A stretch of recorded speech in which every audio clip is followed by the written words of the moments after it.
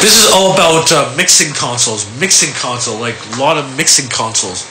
So I'm gonna put this in the category of mixing consoles for mixers, like uh, a lot of them out there. How mixers work, how to do them, how to really